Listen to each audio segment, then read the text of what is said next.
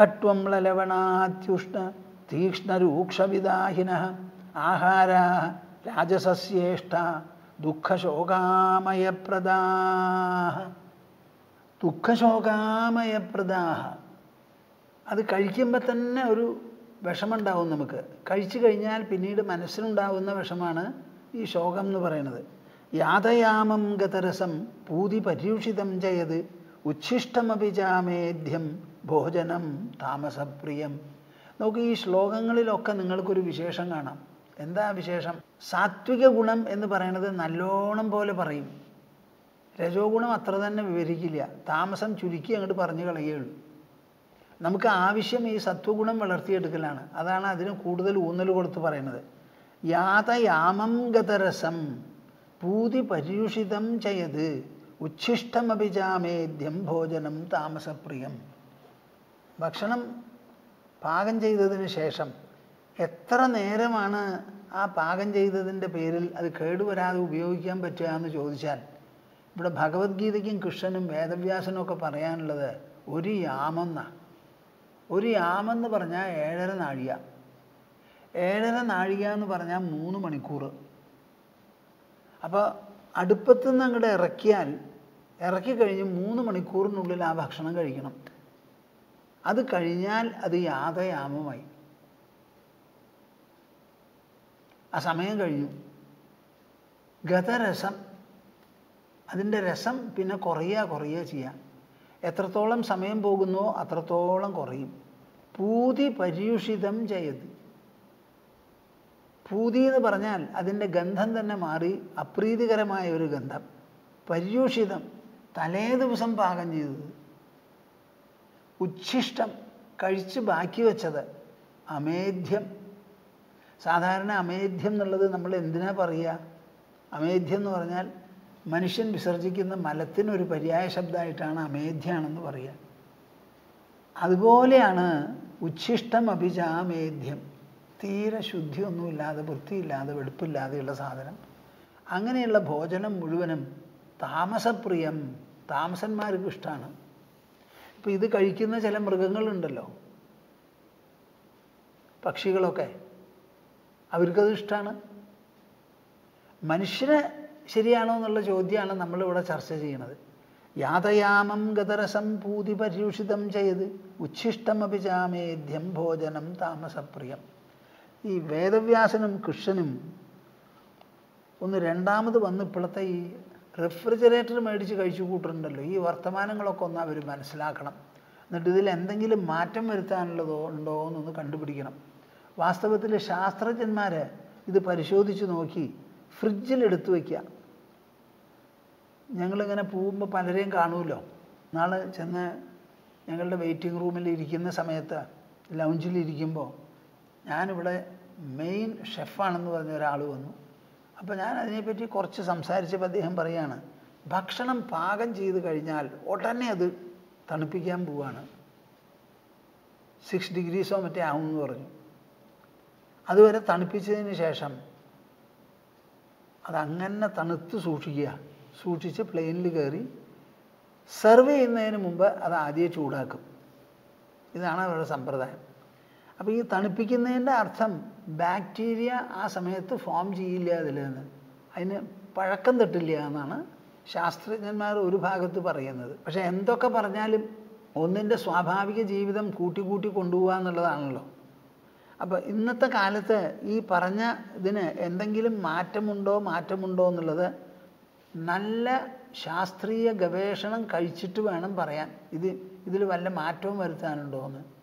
യാതയാമം ഗതരസം പൂതി പര്യൂഷിതം ചെയ്ത് ഉച്ഛിഷ്ടമഭിജാമേദ്യം ഭോജനം താമസപ്രിയം.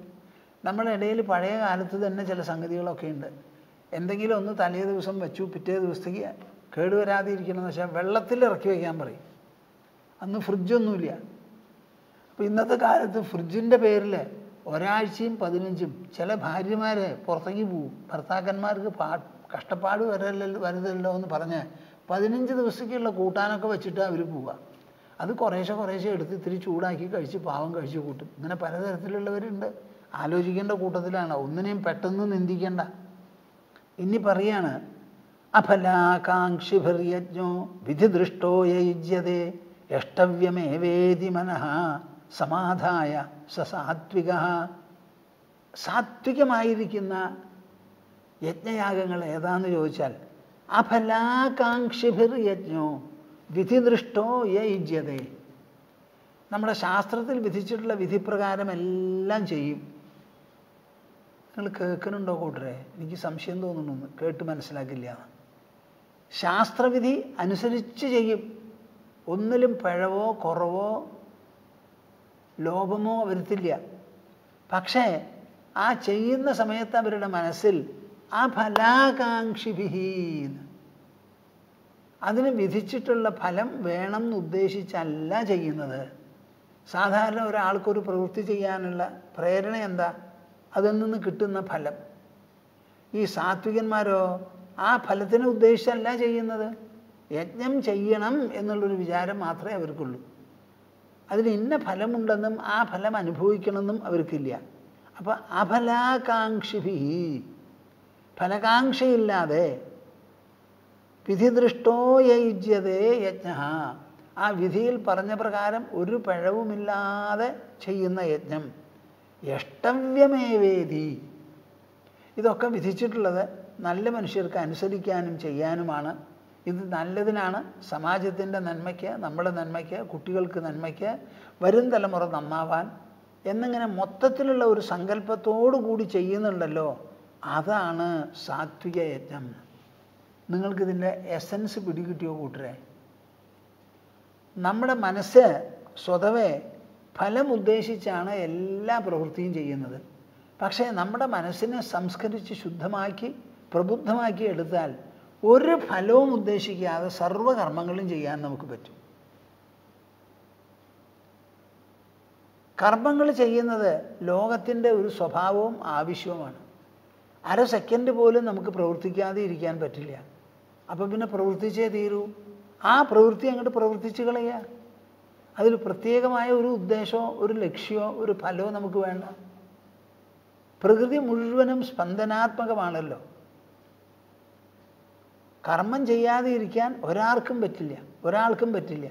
അപ്പം നമ്മൾ കർമ്മം ചെയ്യണം ആ ചെയ്യുന്ന കർമ്മത്തിന് ഒരു ഫലോദ്ദേശത്തിന്റെ ആവശ്യം എന്താ? ഒരു കുട്ടി ജനിച്ചു. ആ കുട്ടിയെ വളർത്തി കൊണ്ടുവരേണ്ടത് ഒരു ആവശ്യമല്ലേ അതിലെന്താ ആശയമുള്ളത് ജനിച്ച കുട്ടി എന്തു വേണം? വളരണം. ആ വളരാൻ എന്തൊക്കെ വേണോ അതൊക്കെ ചെയ്യുക. ആഹാരം കൊടുക്കുക കുളിപ്പിക്കുക ഡ്രസ്സ് ഇട്ട് കൊടുക്കുക കളിപ്പിക്കുക ഉറങ്ങാൻ അനുവദിക്കുക പിന്നെയും ഭക്ഷണം കൊടുക്കുക. ഞാൻ പറഞ്ഞല്ലോ നിങ്ങളോട് കഴിഞ്ഞ തവണ അമേരിക്കയിൽ പോകുമ്പോൾ ലണ്ടനിൽ ഇറങ്ങി നമ്മുടെ ശിഷ്യന്റെ കൂടെ താമസിച്ചു. അവർക്കൊരു കുട്ടിയുണ്ട്.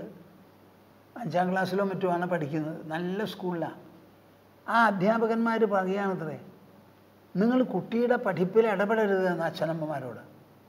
നിങ്ങൾ എന്ത് വേണമെന്ന് വെച്ചാൽ കുട്ടിക്ക് ഭക്ഷണം കൊടുക്കൂ നല്ലോണം ഉറങ്ങാൻ അനുവദിക്കൂ. ഭക്ഷണം കൊടുക്കൂ ഉറങ്ങാൻ അനുവദിക്കും. ബാക്കിയൊക്കെ ഞങ്ങൾ ചെയ്തോളാം എന്ന് പറയാത്രേ. നോക്കൂ ആ പറയുന്നതിന്റെ എത്ര അർത്ഥമുണ്ടെന്ന്.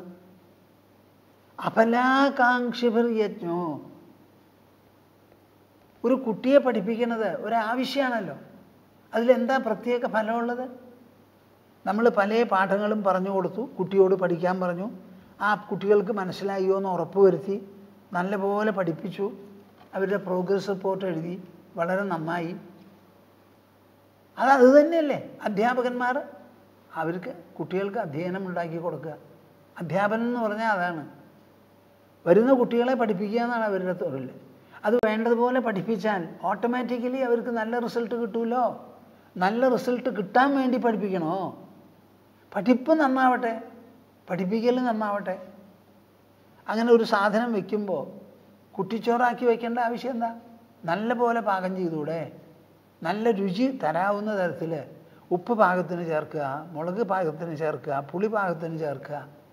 എന്ത് കാര്യവും അങ്ങനെ ചെയ്തുകൂടെ എന്നാണ് ഞാൻ ചോദിക്കുന്നത് അപ്പം നമ്മുടെ മനസ്സ് ഫലം അപേക്ഷിച്ച് ചെയ്യുന്ന മനസ്സ് ഫലം അപേക്ഷിക്കാതെയും അതേ മനസ്സിന് പ്രവൃത്തികൾ നല്ലപോലെ ചെയ്യാൻ കഴിയുമെന്ന് നിങ്ങൾ മനസ്സിലാക്കണം.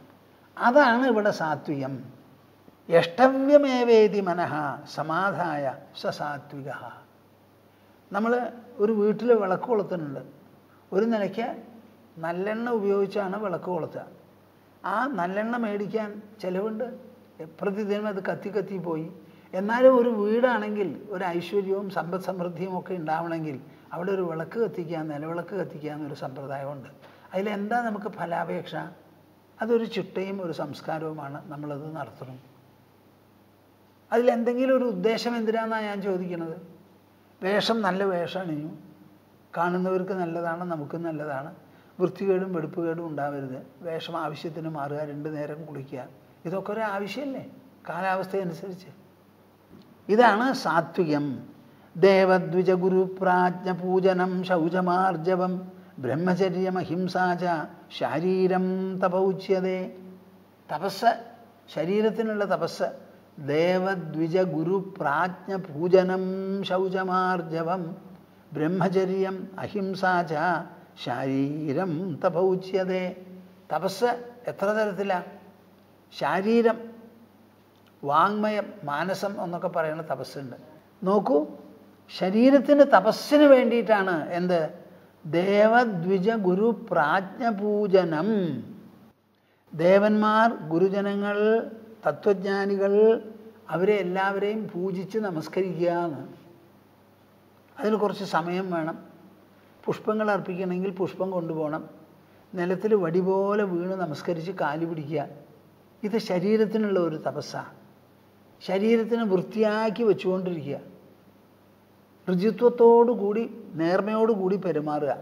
പിന്നെ സാധിച്ചാൽ ബ്രഹ്മചര്യം അനുഷ്ഠിക്കുക. ഒരാളെയും വേദനിപ്പിക്കരുത് ഉപദ്രവിക്കരുത്. ഇങ്ങനെയൊക്കെ ആയാൽ ശരീരത്തിനുള്ള തപസ്സായി എന്ന്. പലപ്പോഴും ചോദിക്കുമല്ലോ തപസ്സെന്താ തപസ്സെന്താ തപസ്സെന്താന്ന്. ഇതാണ് തപസ് ഇത് ശരീരത്തിനുള്ള തപസ്സയേ ഉള്ളൂ ദേവദ്വിജ ഗുരു പ്രാജ്ഞ പൂജനം ശൗചമാർജവം ബ്രഹ്മചര്യം അഹിംസാച ശരീരം തപൗച്യതേ. നമ്മളുടെ നാഷണൽ വാല്യൂസ് എന്താ? ദേശീയ മൂല്യങ്ങൾ എന്താ? മൂല്യങ്ങൾ എന്താ എന്ന് ചോദിക്കുന്നവരോട് ഭൂമാനന്ദ സ്വാമിക്ക് തുറന്ന് പറയാനുള്ളത് ഇതാ ഇതൊക്കെയാണ്. ഇതാണ് നമ്മുടെ ദേശീയ മൂല്യങ്ങൾ. നിങ്ങൾ ശരീരം വെച്ചുകൊണ്ടിരിക്കുന്നെങ്കിൽ ആ ശരീരത്തിന് ആരോഗ്യപുഷ്ടിയോടുകൂടി നിലനിർത്തണം. മനസ്സിന് സമാധാനവും സന്തോഷവും ഉത്സാഹവും ഊക്കും ഉണർവും വേണമെന്നുണ്ടെങ്കിൽ ഈ വക മൂല്യങ്ങളൊക്കെ നിഷ്ഠകളൊക്കെ നിർത്തുക. നിലനിർത്തുക. എന്താണത്? ദേവദ്വിജ ഗുരുപ്രാജ്ഞ പൂജനം ശൗചമാർജവം ബ്രഹ്മചര്യം അഹിംസാച ശാരീരം തപൗച്യതേ. ശരീരത്തിനുള്ള തപസ്. ഇനി വാക്കിനുള്ളതോ വായ കൊണ്ട് സംസാരിക്കുന്നുണ്ടല്ലോ തോരാതെ. അനുദ്വേഗകരം വാക്യം സത്യം പ്രിയഹിതം ചെയ്ത് സ്വാധ്യായാഭ്യസനം ചെയ്വ. വാങ്മയം തപൗച്യതേ. അനുദ്വേഗകരം വാക്യം. നമ്മുടെ വായിൽ നിന്ന് ബാക്കിയുള്ളവർക്ക് ഉദ്വേഗം ഉണ്ടാവത്തക്ക വിധത്തിൽ ഒന്നും വന്നു പോകരുത്. ആവശ്യത്തിന് സംസാരിക്കും. ആവശ്യം നിറവേറ്റുമാറ് സംസാരിക്കൂ. അധികക്ഷരം പറയരുത്. വേണ്ടാതെ കളിപ്പിച്ചു പോലും ഒരാളുടെ മനസ്സിനെ പുണ്ണാക്കരുത്. എന്താ ആവശ്യം? രണ്ടു ദിവസം മുമ്പ് നമ്മളുടെ ഇവിടെ അടുക്കളയിൽ നാളികേരം ചിരകിയിരിക്കുന്നു. അവിടെയുള്ള ആൾക്കാർ നാളികേരം ചിരകിയിട്ട് ആ ചിരകിയത് മുഴുവനാവാതെ കുറേ നാളികേരം ആ ചിരട്ടയിൽ പിടിച്ചിരിക്കുന്നുണ്ട് അപ്പോൾ എന്റെ അടുത്ത് നമ്മുടെ പ്രണതി ആ മൂടി കൊണ്ടുവന്ന് കാണിച്ചു തന്നു. ഇതെന്താ അത്? ഇങ്ങനെയാണ് ഒരു മൂടി എടുത്ത് പുറത്തിട്ടിരിക്കുന്നത് എന്ന് പറഞ്ഞു. ആരാ അതിന്റെ പിന്നിൽ ചോദിച്ചു. രണ്ടാളുണ്ട് അവരെ വിളിച്ചു. കാണിച്ചു കൊടുത്തു എന്ന് ഞാൻ അവരോട് ചോദിക്കേ ഞാൻ കരയണോ ദേഷ്യപ്പെടണോ? ചോദിച്ചു. എനിക്ക് അറിയുന്നില്ല കരയണോ ദേഷ്യപ്പെടണോ? എന്ന്. ഇത്ര അധികം നാളികേരം ചിരകുന്ന സമയത്ത് ഇത്രയധികം അതിൽ ബാക്കി വെച്ച് ഇങ്ങനെ നശിപ്പിച്ചാൽ നന്നായിരിക്കുമോ എന്താ നിങ്ങൾക്ക് അഭിപ്രായം? പാടില്ല. പിന്നെ ഇതെങ്ങനെ വന്നു? അപ്പോൾ അവർ അവരുടെ ഒരു എക്സ്പ്ലനേഷൻ ഒരു വിവരണം തന്നു. അപ്പം ഞാൻ ആലോചിക്കുക ഞങ്ങൾക്ക് ഇവിടെ രണ്ടാളുള്ളതിൽ ഒന്നൊരു കുട്ടിയാണ് അവനെ കണ്ട എനിക്ക് എപ്പോഴും ഒരു സ്നേഹവും ഒരു ചിരിയും ഒരു വാത്സല്യവുമാണ് തോന്നുന്നത്. അപ്പം ഞാൻ അവന്റെ കവിളൊക്കെ ഒന്ന് പിടിച്ച് ഒന്നിങ്ങനെ സ്നേഹം ഒരാദരവൊക്കെ പ്രദർശിപ്പിക്കും. എന്നിട്ട് പറയും എന്റെ മോനെ നീ ഇവിടെ വന്നിരിക്കുന്നത് എന്തിനാ? നീ ഒരു പ്രവൃത്തി ചെയ്താൽ ആ പ്രവൃത്തിയിൽ ഭക്ഷണമാണ് കാര്യം. ആ ഭക്ഷണം കഴിച്ച് ബാക്കിയുള്ളവർക്ക് സന്തോഷം തോന്നണ്ടേ കുട്ടി? എന്തത്ര ഗൗരവക്കേട്? കുട്ടിത്തരം എത്ര കാലം ഉണ്ടാവും എന്നൊക്കെ സംസാരിക്കും. ഞാൻ നിന്നോട് ഇങ്ങനെ സംസാരിച്ച് സംസാരിച്ച് നിന്നെ നേരെയാക്കും എന്ന് പറഞ്ഞു.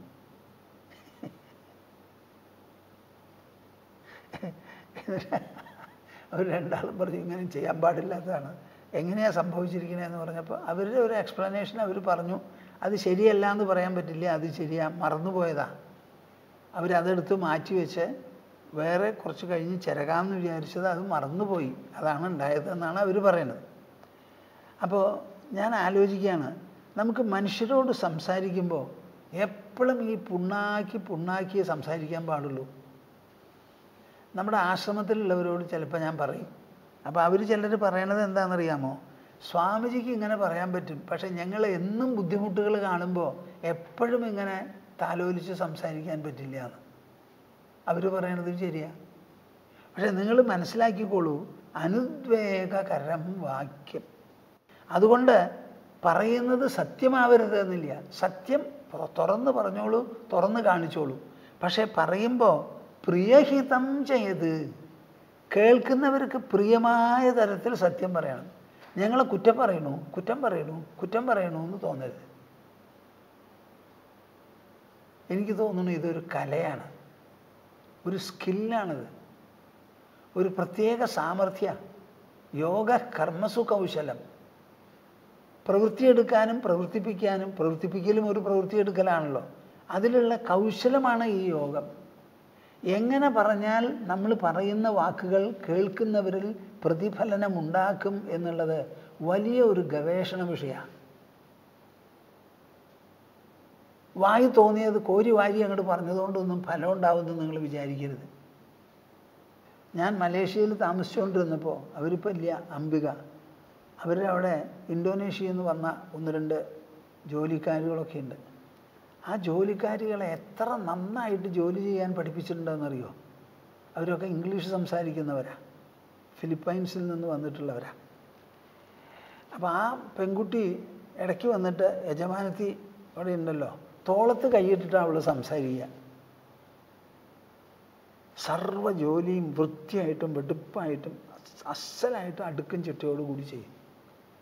അപ്പം അവർ ആ കുട്ടികളെ അങ്ങനെ പഠിപ്പിച്ചിരിക്കുകയാണ് അവർ അപ്പം ആ പഠിപ്പിക്കുക എന്ന് പറഞ്ഞാൽ അത് ദേഷ്യപ്പെട്ടുകൊണ്ടാണോ കുത്തി കുത്തി സംസാരിച്ചിട്ടാണോ എന്നുള്ളതൊരു വലിയ ചോദ്യ നിങ്ങളെല്ലാവരും മനസ്സിലാക്കണം. അനുദ്വേഗകരം വാക്യം എന്നാൽ മനുഷ്യന്റെ പ്രകൃതിയിൽ അലിഞ്ഞു ചേർന്നിരിക്കുന്നതാണ് കുത്തി കുത്തി കുത്തി കുത്തി സംസാരിക്കുക. ആ സ്വഭാവം നമുക്ക് നമ്മുടെ അച്ഛനമ്മമാരിൽ നിന്നൊക്കെ കിട്ടിയതാവാം. അത് മനസ്സിലാക്കി അത് നീക്കിയെടുക്കണം. അതാണ് തപസ്. അനുദ്വേഗകരം. നമ്മുടെ ഇന്ത്യ രാജ്യത്തെ നാഷണൽ വാല്യൂസ് എന്താണെന്ന് ചോദിച്ചാൽ എന്റെ കൂട്ടരെ ഇതിൽ ഒരു മതവും വരുന്നില്ല അവിടെ. ഇവിടെ മതവും ഇല്ല ദൈവവും ഇല്ല. മനുഷ്യന്റെ വാക്കിന് പാലിക്കേണ്ട മൂല്യങ്ങളും നിഷ്ഠകളുമാണ് ഇവിടെ പ്രതിപാദനം. ഇത് ഹിന്ദുവിന് വേറെ അഹിന്ദുക്കൾക്ക് വേറെ എന്നുള്ള വ്യത്യാസമുണ്ടോ ഇതിൽ അനുദ്വേഗകരം വാക്യം എന്നല്ലേ പറയുന്നത്. നമ്മുടെ വായിൽ നിന്ന് പുറപ്പെടുന്ന വാക്യങ്ങൾ അക്ഷരക്കൂട്ടങ്ങൾ എങ്ങനത്തതാവണം? മറ്റുള്ളവരിൽ ഉദ്വേഗം ജനിപ്പിക്കുന്നതാകരുത് മറിച്ചോ പ്രബുദ്ധത ഉളവാക്കുന്നതാവണം. അവർ ചെയ്തിട്ടുള്ള തെറ്റിനെ ചൂണ്ടിക്കാണിക്കുന്നതാവണം. ഓർമ്മപ്പെടുത്തുന്നതാകണം. ഞാനിവിടെ ചിലപ്പോൾ പറയേ നിങ്ങൾ ഇന്ന് ചെയ്യാത്ത ജോലി. ഇന്ന് ചെയ്തില്ല. നാളെ അത് ചെയ്യാനാരാ? നിങ്ങൾ തന്നെയാണ് ചെയ്യുന്നത്. അപ്പോൾ ഇന്ന് ചെയ്യാത്തത് നാളെ ചെയ്യേണ്ടി വരുന്നത് നിങ്ങളൊന്ന് മനസ്സിലാക്കൂ. നിവൃത്തി ഉണ്ടെങ്കിൽ അങ്ങനെ വരാ ബാക്കി വരാതെ ചെയ്തിട്ട് പോവുക ഇങ്ങനെ പലതരത്തിലും സംസാരിക്കണം. നമ്മൾ പഠിക്കണം. അനുദ്വേഗകരം. ഇത് സഹോദരിമാർ തമ്മിൽ അച്ഛനമ്മമാർ തമ്മിൽ ദമ്പതികൾ തമ്മിൽ എല്ലാ സ്ഥലത്തും ഇത് ബാധകമാണ്. ഇന്റർ പേഴ്സണൽ വാല്യൂസാണത് മുഴുവനും. അനുദ്വേഗകരം വാക്യം സത്യം.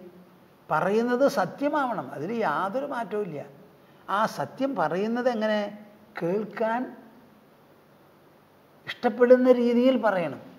പ്രിയഹിതം ചെയ്ത് കേൾക്കുന്നവർക്ക് നന്മ ഉളവാക്കണം.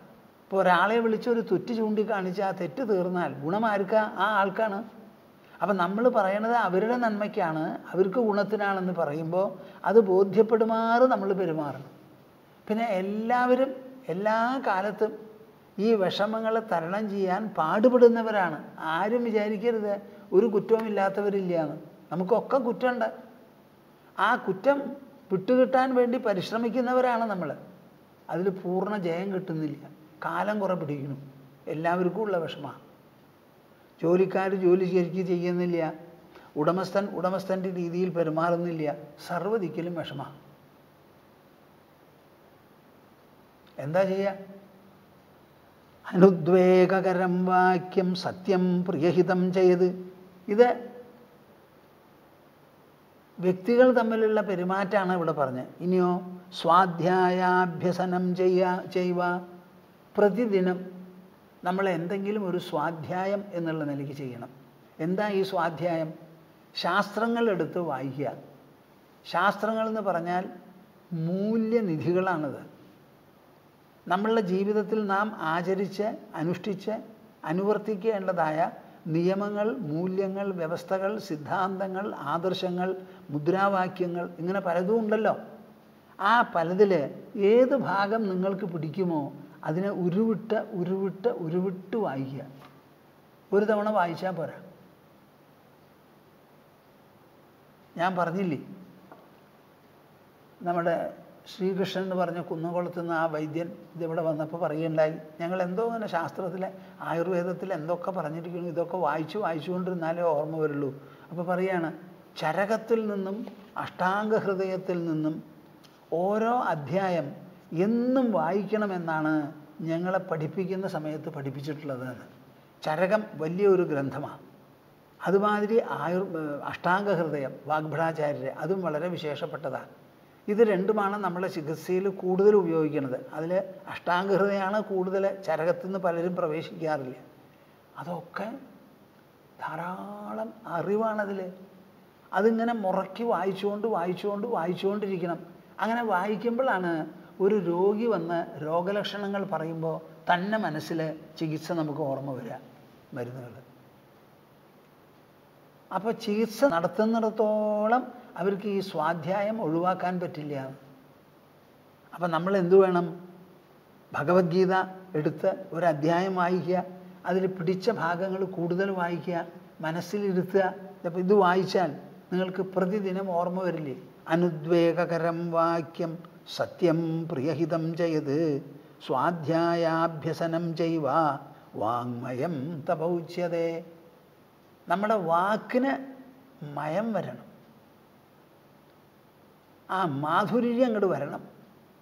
അതിന്റെ കയ്പും പുളിയും ചവർപ്പും ഒക്കെ അങ്ങോട്ട് പോകണം സ്വാധ്യായാഭ്യസനം ചെയ്യുക വാങ്മയം തപൗച്യതേ. മനഃപ്രസാദ സൗമ്യത്വം മൗനം ആത്മവിനിഗ്രഹ ഭാവസംശുദ്ധിരിത്യേതത് തപോ മാനസ മാനസമുച്യതേ. നോക്കൂ ഓരോന്ന് ചുരുക്കി ചുരുക്കി പറയുകയാണ് ഞാൻ. മനസ്സിന് മനസ്സിനുള്ള തപസ് ശരീരത്തിനുള്ളത് വാക്കിനുള്ളത്. പിന്നെ മനസ്സിനുള്ളതോ ശരീരമാണ് നമുക്ക് പുറമേ ഉള്ളത്. സുസ്ഥൂല രൂപത്തിലുള്ള ശരീരവും അവയവങ്ങളും. അത് കഴിഞ്ഞാൽ വാക്ക് അത് വേറെ പ്രത്യേകമായിട്ടുള്ള ഒരു അവയവവും ഒരു പ്രകടനവുമാണ്. ഇത് കഴിഞ്ഞാൽ പിന്നെ മനസ്സിലേക്കാണ് പോകേണ്ടത് മനഃപ്രസാദ സൗമ്യത്വം മനസ്സിലെപ്പോഴും പ്രസന്നത വെച്ചുകൊണ്ടിരിക്കണം. മുഖം കയറ്റിപ്പിടിച്ചിരിക്കുക ആരെങ്കിലും എന്തെങ്കിലും പറഞ്ഞാൽ അവൻ എന്നെ പറഞ്ഞില്ലേ. അവൻ തന്നെ വന്ന് ചോദിക്കുന്ന വരെ മോർ കയറ്റി പിടിക്കുക. ഈ സമ്പ്രദായം ശരിയല്ല.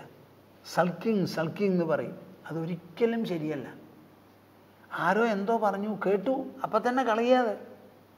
മനസ്സിനെ അപ്രസന്നമാവാൻ അനുവദിക്കരുത്. പ്രസന്നനായിരിക്കണം. മനഃപ്രസാദ. അതൊരു സാധനയാണ് തപസ്സാണ്. മനസ്സിങ്ങനെ പ്രക്ഷുബ്ധമാവും പ്രക്ഷുബ്ധമാവും. പരിഭവങ്ങളൊക്കെ വരും. ആ പരിഭവങ്ങൾ വരുമ്പോൾ അത് തീണ്ടാൻ അനുവദിക്കരുത്. അതിനകപ്പെട്ടു പോകരുത്. സൗമ്യത്വം. രൂക്ഷ തീക്ഷ്ണ സ്വഭാവങ്ങളൊന്നും ഉണ്ടാവരുത്. സൗമ്യശീലനാവുക. മൗനം. ഇഷ്ടം പോലെ ഇരുന്ന് ധ്യാനിക്കണം മൗനം ശീലിക്കണം. ആത്മവിനിഗ്രഹ തന്റെ ഇന്ദ്രിയങ്ങളെയും മനസ്സിനെയും വാക്കിനെയും എല്ലാറ്റിനെയും നിയന്ത്രിക്കാൻ ഒരു സ്വഭാവം ഒരു പരിശീലനം നമുക്ക് എന്നും ഉണ്ടാവണം. ഭാവസംശുദ്ധി ഇത്യേതത്. നമ്മുടെ മനസ്സിൽ നമുക്ക് ശുദ്ധി വേണം എപ്പോഴും. സതുദ്ദേശത്തിൽ വേണം എന്ത് പ്രവൃത്തിയും ചെയ്യാൻ. കളവ് കൊണ്ടു നടത്തരുത്. ആരെങ്കിലും ചോദിച്ചാൽ സത്യം മറച്ചു വെച്ച് പറയരുത്. അപ്പോൾ ഒളിവ് പിരിവ് തിരിവ് വളവ് ഇതൊന്നും നമുക്ക് പാടില്ല. വക്രബുദ്ധികളൊന്നും വയ്യ. മനസ്സിൽ ശുദ്ധി ഉണ്ടാവട്ടെ ഭാവസംശുദ്ധി. അവസാനത്തെ ശുദ്ധി എന്താ? നാം ചെയ്യുന്നത് മുഴുവൻ ഈശ്വരന് സമർപ്പണമായി ചെയ്യണു എന്നുള്ളൊരു വിചാരം എപ്പോഴും നിലനിന്നാൽ അത് ഭാവസംശുദ്ധിയായി. നിങ്ങൾ വിവാഹം കഴിച്ചോളൂ മാതൃപിതൃത്വം അണിഞ്ഞോളൂ കുട്ടികളെ വളർത്തിക്കോളൂ കല്യാണം കഴിച്ചു കൊടുത്തോളൂ കൊണ്ടുവന്നോളൂ ഒന്നിനും വിരോധമില്ല. ഈ ചെയ്യുന്നത് മുഴുവനും ഈശ്വരന്റെ ലോകത്തിൽ ഈശ്വരൻ രചിച്ചു തന്ന ശരീരത്തോടു കൂടി ഈശ്വരപ്രീതി അർത്ഥമാണ്. ഇതിൽ ഞാനല്ല ഇവിടെ മുൻതൂക്കം കാണിക്കുന്നത് ഈശ്വരനാണ് എന്നൊരു വിചാരം എപ്പോഴും ഉണ്ടായ എല്ലാം നേരെയാവും. സമർപ്പണഭാവം ഭാവസംശുദ്ധിരിത്യേതത്. ഇതാണ് മാനസ തപസ് ഇത് വേറൊരാൾക്ക് കാണാൻ പറ്റില്ല. നിങ്ങളുടെ മനസ്സ് പ്രസന്നമാണോ അല്ലയോ എന്നുള്ളത് ചിലപ്പോൾ മുഖം സൂചിപ്പിക്കും. അല്ലെങ്കിൽ കാണാൻ വിഷമാണ്. സൗമ്യശീലനാണോ? മൗനം ശീലിക്കുന്നുണ്ടോ? തന്റെ സ്വയം വ്യക്തിത്വം ശരീരം ഇന്ദ്രിയങ്ങൾ മനസ്സ് വായ ബുദ്ധി ഇതിലെല്ലാറ്റിലും വേണ്ടതുപോലെ നിയന്ത്രണമുണ്ടോ? ശീലിക്കുന്നുണ്ടോ? അകത്ത് ശുദ്ധിയുണ്ടോ?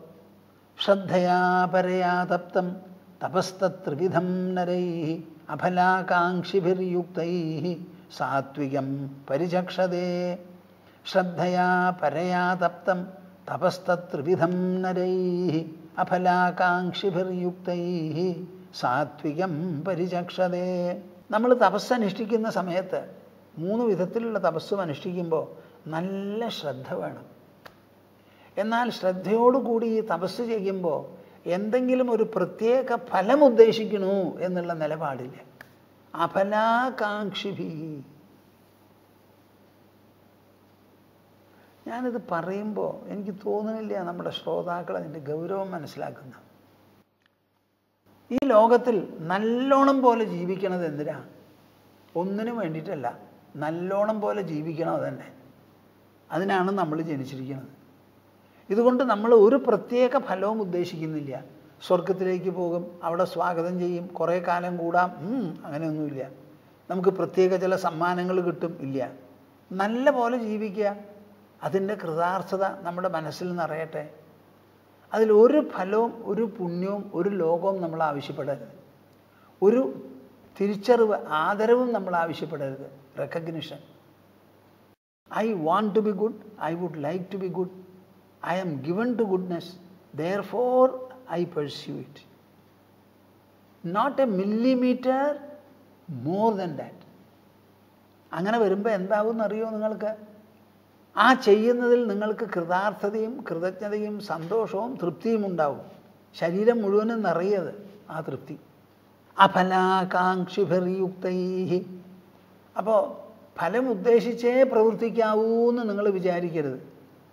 ഫലമില്ലാതെയും നമുക്ക് പ്രവർത്തിക്കാൻ സാധിക്കും. അങ്ങനെ വന്നാൽ അത് സാത്വികമായി.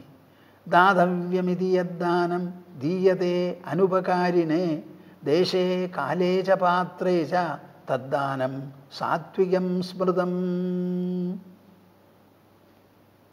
ഒന്ന് കേൾക്കണപ്പാ അത്. ദാതവ്യമിതി യദ്ദാനം ദാതവ്യമിതി യദ്ദാനം എന്തെങ്കിലും ഒന്ന് മറ്റൊരാൾക്ക് കൊടുക്കുന്ന സമയത്ത് കൊടുക്കേണ്ടതാണ്. നമ്മൾ കയ്യിലുണ്ട് കൊടുക്കണമെന്ന് തോന്നുന്നു. കൊടുക്കന്നെ വേണം. അങ്ങനെ കൊടുക്കുന്നതാണ് നമ്മുടെ ധർമ്മം നമുക്ക് സന്തോഷം നമുക്ക് തൃപ്തി എന്ന് വിചാരിച്ചു കൊടുക്കുക. ധീയതേ അനുപകാരിണേ. ആ കൊടുക്കുന്ന ആൾ തിരിച്ചെന്തെങ്കിലും ഉപകാരം ചെയ്യുമെന്ന് വിചാരിച്ചാൽ പോയി. നമ്മൾ ആർക്ക് കൊടുക്കണോ അവർ കൊണ്ടുപോയി സുഖമായിട്ട് അനുഭവിക്കട്ടെ. അവരിൽ നിന്ന് തിരിച്ച ഒരു ഫലവും നമ്മൾ പ്രതീക്ഷിക്കരുത്. അപ്പം അത് ദാനാവില്ല. പണം കൊടുക്കുന്നതിന് പകരം സാധനം കൊടുത്തു എന്നൊരു തിരിച്ച് എന്തെങ്കിലും സേവനം ആവശ്യപ്പെട്ടു അങ്ങനെയാവുക ആ കച്ചവടം നമുക്ക് വേണ്ട. കൊടുക്കേണ്ടതാണ് കൊടുത്തു. കഷ്ടപ്പെടുന്നു കേട്ടു എന്റെ കയ്യിലുണ്ട് മനസ്സിൽ കൊടുക്കണമെന്ന് തോന്നുന്നു ഇതാ കൊടുക്കുന്നു ആ മേടിക്കുന്ന ആളിൽ നിന്ന് ഒരു തരത്തിലുള്ള ഉപകാരവും നമ്മൾ പ്രതീക്ഷിക്കരുത്. ഈ കൊടുക്കുന്ന സമയത്തോ ദേശേ കാലേച പാത്രേച എവിടെയാണിത് കൊടുക്കേണ്ടത്? ദേശേ കാലേ. ഏത് കാലത്താണ് കൊടുക്കേണ്ടത്? ആവശ്യമുള്ള സമയത്ത്. നമ്മളിപ്പോൾ ഒരു അന്നവസ്ത്രദാന ദാനസത്രം നടത്തി മുഴുവനാക്കുന്ന സമയമാണിപ്പോൾ ഈ അന്നവസ്ത്രദാന ദാനസത്രം നടത്താൻ തുടങ്ങി ഇപ്പോൾ നമ്മൾക്ക് മുപ്പത്തിമൂന്ന് കൊല്ലായി. ഇത് തുടങ്ങിയത് എപ്പോഴാണ് നമ്മുടെ പഞ്ഞക്കർക്കിടകം എന്ന് പറയുന്ന കാലത്താണ് പഴയ കാലം മുതൽക്ക് തന്നെ കർക്കിടക മാസം. തമിഴിലൊരു പ്രോവർബുണ്ട് ആടിക്കാക്ക താടിയെ പിടുങ്ങുന്നു കർക്കിടമാസത്തിൽ കാക്കയ്ക്ക് പോലും ഭക്ഷണം കുറവാണത്രേ. അത് നമ്മുടെ കയ്യിൽ നിന്ന് പെറുക്കിയെടുത്ത് കൊണ്ടുപോകുന്നു. അവർക്കും കൂടി ഭക്ഷണം കിട്ടാൻ വിഷമമാണ് അപ്പോൾ കർക്കിടക മാസം ഉണ്ടല്ലോ. ആ കർക്കിടക മാസം പ്രകൃതി തന്നെ ജോലിയൊന്നും ഇല്ലാതെ ലേ ഓഫ് ചെയ്യുന്ന ഒരു കാലമാണ്. അപ്പോഴാണ് നമ്മൾ തിരഞ്ഞെടുത്തത്. അപ്പോൾ ഏത് കാലത്ത് കൊടുക്കണം? ആർക്ക് കൊടുക്കണം? പാവപ്പെട്ട ഗൃഹങ്ങൾക്ക് കൊടുക്കുക. എന്തു കൊടുക്കണം? നിത്യോപയോഗമായിട്ടുള്ള അരി കൊടുക്കുക. നിത്യോപയോഗമുള്ള വസ്ത്രത്തിന്റെ ഒരു ഭാഗം കൊടുക്കുക. ഒരു സ്വല്പം മധുരം സന്തോഷത്തിന് കൊടുക്കുക. അങ്ങനെയാണ് നമ്മൾ ആരംഭിച്ചത്. മുപ്പത്തിമൂന്ന് കൊല്ലായി. ദേശേ കാലേച്ച പാത്രേച.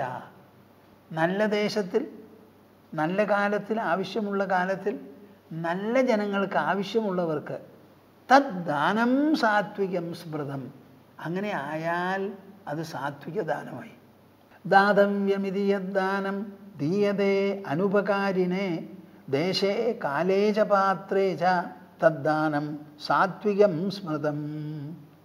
ഓം തത്സദിതി നിർദ്ദേശോ ബ്രഹ്മണസ്ത്രിവിധ സ്മൃത ബ്രാഹ്മണാ തേന വേദാശ്ച യജ്ഞാശ്ച വിഹിതാ പുരാ.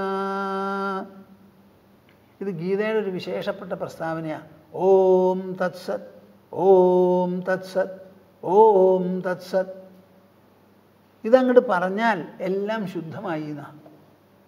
ഓം തത്സത് നിങ്ങൾ നിങ്ങളുടെ വീട്ടിൽ ഇത് പറഞ്ഞു തുടങ്ങൂ കുട്ടികളെയും പഠിപ്പിക്കൂ. ചെയ്യില്ലല്ലോ.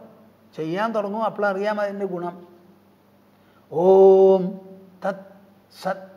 ഓം. അതുകൊണ്ട് എന്താ ഉദ്ദേശിക്കുന്നത്? ബ്രഹ്മണസ്ത്രിവിധോ സ്മൃത. പരബ്രഹ്മത്തെയാണ് നമ്മൾ ഈ മൂന്ന് വാക്കുകൾ കൊണ്ടും ഉച്ചാരണങ്ങൾ കൊണ്ടും ഉദ്ദേശിക്കുന്നത്. അതിൽപ്പെട്ടത് എന്തൊക്കെയാ? ബ്രാഹ്മണാസ്തേന വേദാശ്ച യജ്ഞാശ്ച വിഹിതാ പുരാ. ബ്രാഹ്മണരെ വേദങ്ങൾ യജ്ഞങ്ങൾ. ഓം ഓം എന്ന് പറയുന്നത് എന്താ? വേദം മുഴുവനും മന്ത്രങ്ങളും സൂക്തങ്ങളുമാണ്. ആ സൂക്തങ്ങളുടെ എല്ലാറ്റിന്റെയും കൂടിയിട്ടുള്ള ഒരു പ്രതീകം രത്നച്ചുരുക്കവുമാണ് ഓം എന്ന് പറയുന്നത്. ഓം.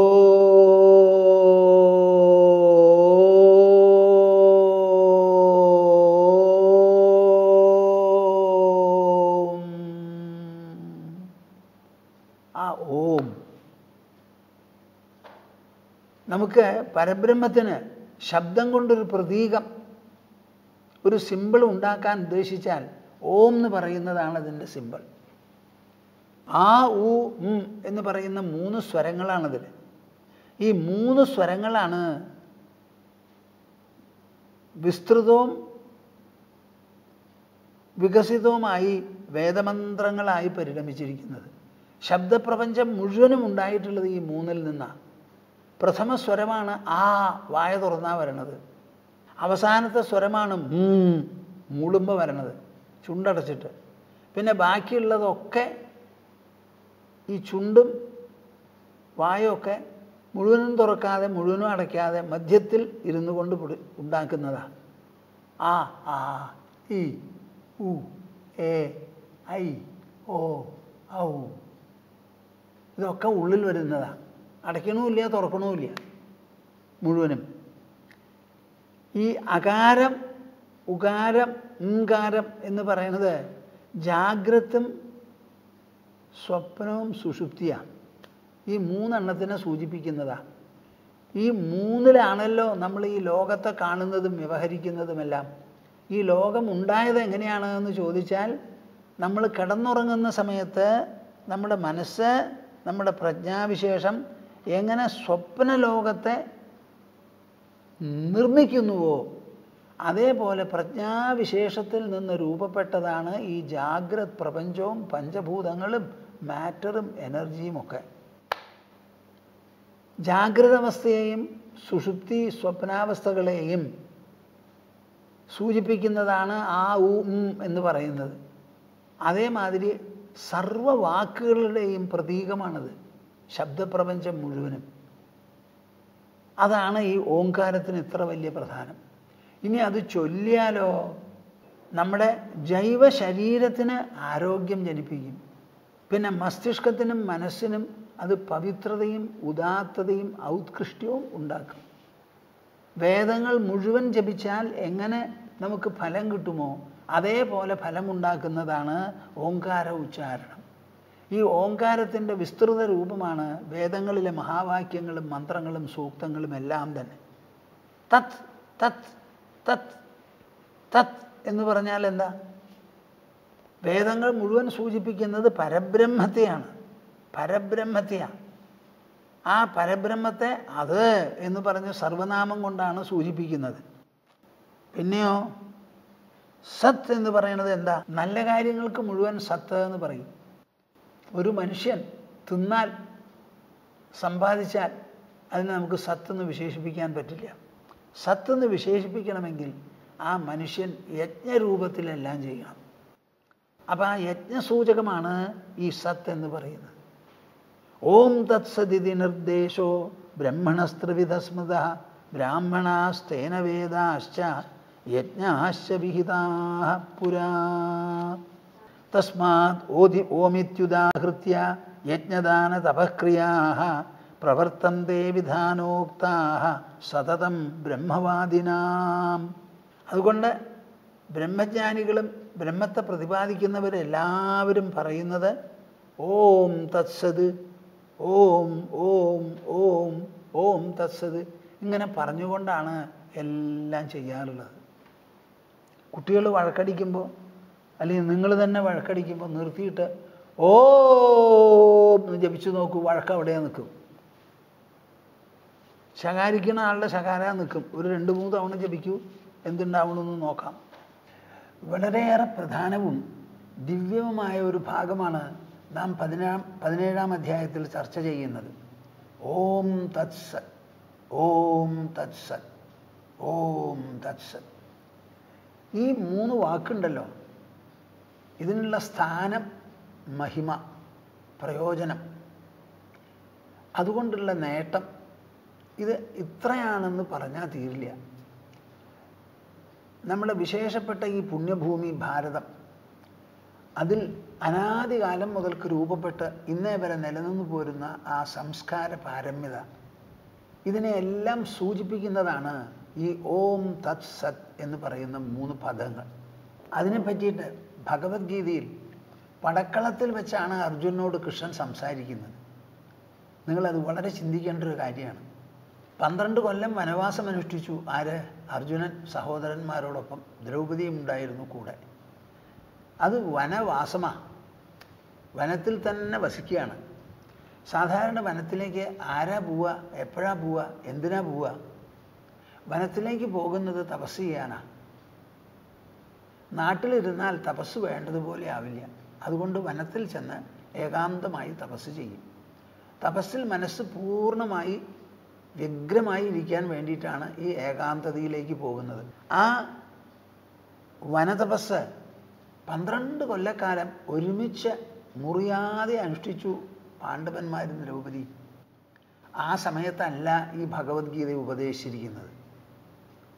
കൃഷ്ണൻ അപ്പോൾ ഉപദേശിക്കാമായിരുന്നില്ലേ? വേണ്ട സമയമുണ്ടല്ലോ. അർജുന എനിക്ക് തന്നോട് ചില കാര്യങ്ങളൊക്കെ പറയാനുണ്ട്. നമ്മൾ തമ്മിൽ ചങ്ങാതിമാരാണല്ലോ. നീ എന്നെ കൃഷ്ണൻ കൃഷ്ണൻ എന്നൊക്കെ വിളിക്കുന്നുണ്ട്. ഞാൻ മറുപടിയും പറയുന്നുണ്ട്. നമ്മൾ തോളോട് തോൾ കൈയിട്ട് നടക്കും. നീ ആവശ്യപ്പെട്ടതൊക്കെ ഞാൻ നിറവേറ്റാൻ വേണ്ടി സഹായിക്കും. സഹായിച്ചിട്ടുണ്ട്. എന്റെ സഹോദരിയെ പോലും റാഞ്ചി കൊണ്ടുപോകാൻ ഞാൻ വഴി പറഞ്ഞു തന്നു. ഇങ്ങനെ പലതും ഉണ്ട്. ഞാനൊരു കാര്യം ചോദിച്ചോട്ടെ? എനിക്ക് ചില കാര്യങ്ങൾ പറയാനുണ്ട്. അത് ഉള്ളിന്റെ കാര്യമാണ്. മനുഷ്യന്റെ ഉൾവ്യക്തിത്വത്തിന്റെ കാര്യമാണ്. അധ്യാത്മം അധ്യാത്മം എന്നാണ് ഇതിന് പറയുക.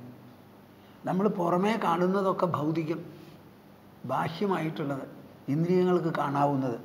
ഇത് ഇന്ദ്രിയങ്ങൾക്ക് കാണാൻ പറ്റാതെ ദേഹത്തിന്റെ ഉള്ളിൽ ഒളിഞ്ഞു കിടക്കുകയാണെന്ന് പറയാം. അങ്ങനെ ഒന്നാണ് ഈ അധ്യാത്മം. ആ അധ്യാത്മമാണ് ഞാൻ ഈ പറയാൻ ഉദ്ദേശിക്കുന്നത്. ഇതൊരു വലിയ നേട്ടമാണ്. അർജുനന് ദേഹബലമുണ്ട് മനോബലമുണ്ട് ബുദ്ധിബലമുണ്ട് ഗാന്ഡീവം കയ്യിലുണ്ട് ധാരാളം യുദ്ധപരിശ പരിശ പരിശീലനമുണ്ട് പരിചയമുണ്ട്. വിജയിച്ചിട്ടുണ്ട്. ഇതൊക്കെ ഉണ്ടെങ്കിലും മനുഷ്യനെ പൂർണനാക്കുന്നത് അധ്യാത്മം എന്ന് പറയുന്ന സമ്പത്താണ്. ആത്മബലം എന്നൊന്ന് വേറെയാണ് അതില്ലെങ്കിൽ എപ്പോഴെങ്കിലും ഒരു തകർച്ച ജീവിതത്തിൽ സംഭാവ്യമാണ് എന്ന് പറഞ്ഞ് സമാധാനത്തോടുകൂടി ഉപദേശിച്ചു കൊടുക്കാമായിരുന്നില്ലേ? ഇപ്പം ഈ പറയുന്നതൊക്കെ അങ്ങനെയല്ല ചെയ്തത്. ഇപ്പോഴും ഉപദേശിക്കാൻ ഉദ്ദേശിച്ചിട്ടില്ല. പക്ഷേ എന്തോ കാരണത്താൽ അത് വേണ്ടി വന്നു. അപ്പം പറയുന്നതാ അപ്പോഴും ആ പരിസരങ്ങളെയൊക്കെ അതിജീവിച്ചുകൊണ്ട് അർജുനന് കൊടുക്കുന്ന അറിവ് വെറും വെറും യുദ്ധം ചെയ്യാൻ മാത്രമുള്ള ഒരു പ്രാബല്യമാവരുത്. അർജുനനെ പൂർണമാക്കാൻ വേണ്ടിയാകണം എന്ന് വിചാരിച്ചാണ് പലതും കൂട്ടിപ്പിടിച്ച് കൂട്ടിപ്പിടിച്ച് കൂട്ടിപ്പിടിച്ച് ഒരു സംഹിതാരൂപത്തിൽ ഉപദേശിക്കുന്നത്.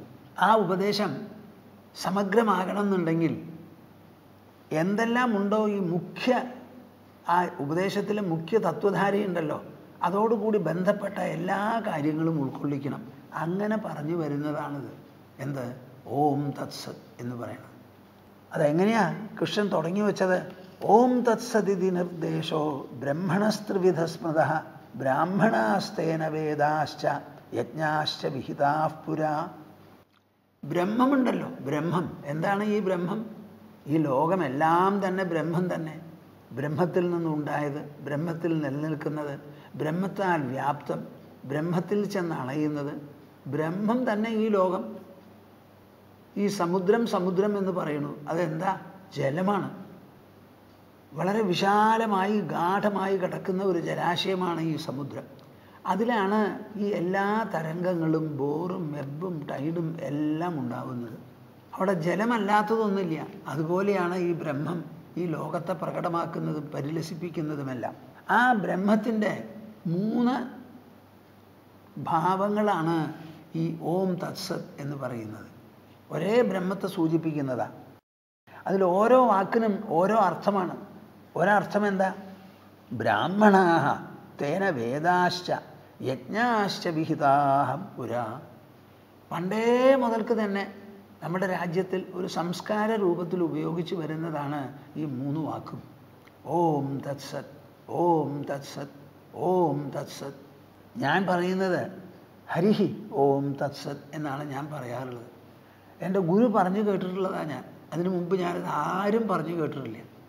അദ്ദേഹം പറയുന്നത് കൊണ്ട് അത് എനിക്കും പറയാനുള്ളൊരു അവസരമായി അധികാരമായി ഒരു നിലയ്ക്ക് നിർബന്ധവുമായി. ബ്രാഹ്മണാസ്തേന വേദാശ്ച. യജ്ഞാശ്ച വിഹിതാ പുര. ആരെങ്കിലും വന്ന് നമ്മളെ നമസ്കരിക്കുമ്പോൾ സന്യാസിമാരെയോ ബാക്കിയുള്ളവരെ കാണുമ്പോൾ ഓം നമോ നാരായണായ എന്ന് പറയും. ഞാനത് പറയില്ല. ഹരി ഓം തത്സന്നേ പറയുള്ളൂ ആരെങ്കിലും അത് ശ്രദ്ധിച്ചിട്ടുണ്ടോ എന്നറിയില്ല. എന്താ സ്വാമിജി ഇങ്ങനെ പറയണേന്ന് ഒരാളോട്ട് ചോദിച്ചിട്ടുമില്ല. ഞങ്ങളൊക്കെ പറയണത് ഓം നമോ നാരായണായ എന്നാണല്ലോ. സ്വാമിജി എന്താ ഹരി ഓം തത്സ് എന്ന് പറയണേ എന്ന് എന്നോട് ചോദിച്ചിട്ടില്ല. അതൊരു രസമായിട്ടുള്ള കാര്യമാണ്. അപ്പോൾ എല്ലാവരും ചെയ്യണത് ചെയ്യാൻ എനിക്ക് ഇത്തിരി താല്പര്യം കുറവാണ് ചെയ്യുന്നതോ പറയുന്നതോ ഉണ്ടെങ്കിൽ അത് കുറച്ച് അപൂർവമോ അനന്യമോ ആയി തീർന്നാൽ കൊള്ളാം എന്നൊരു ചെറിയ ഒരു കുട്ടിക്കുറുമ്പ് എന്റെ കയ്യിലുണ്ട്. അങ്ങനെ ഒരു സ്വഭാവവുമുണ്ട്. അപ്പം ഞാൻ തീർച്ചയായും ഞാൻ എല്ലാവരും പറയണത് പറയില്ല. ഹരിഹി ഓം തത്സ. ഹരിഹി ഓം തത്സ എന്നിങ്ങനെ പറയും.